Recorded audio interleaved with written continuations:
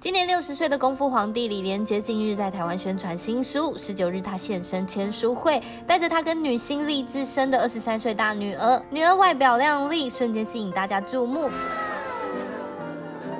而在分享心路历程的同时，他突然跟女儿道歉，也让全场感动佩服啊！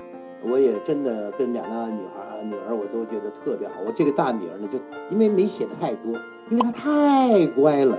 一直就是要做爸爸说什么，妈妈做什么我就做什么，爸爸做什么，妈妈做什么做什么。但是前两天我们俩谈到十一点，我突然觉得，哎呦，我怎么是这样的一个人？因为他说，其实，在有一段时间我很 lost，就是，因为爸爸整天不回家，整天忙公益啊慈善。他说，我我的同学是谁他不知道，我上几年级他不知道，完了以后我喜欢的颜色衣服他不知道，反正举了五个我不知道。那我真不知道，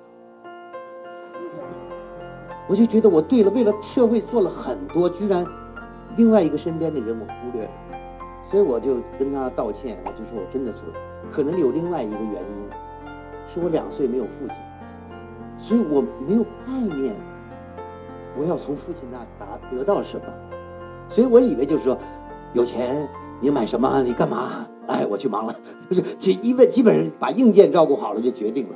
其实孩子们成长是不需要不止硬件，还需要软件。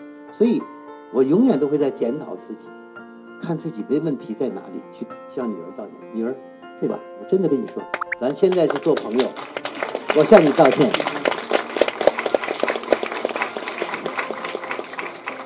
所以，任何的父母应当和想办法跟孩子做朋朋友、做同学，永远在他们身上可以学到我不了解。那个那一部分，我觉得他们非常了不起，经常教我很多很多的东西。最后我就说一句啊，就是不结束了啊，我真的我是这个话痨，说太多了。最后就是说，所有在座的家人啊，年长一点的、年轻一点的、更年轻一点的，反正如果用三百岁的话，我们年长的都是青春期。哎，如果三百岁你们都是儿童期，OK，我们共同努力，不管年龄是什么，健康。快乐我渴望你们都拥有。谢谢。谢谢。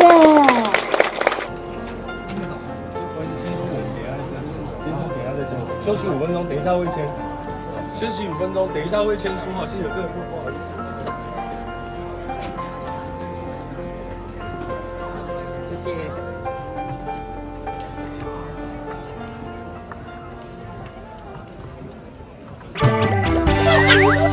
谢。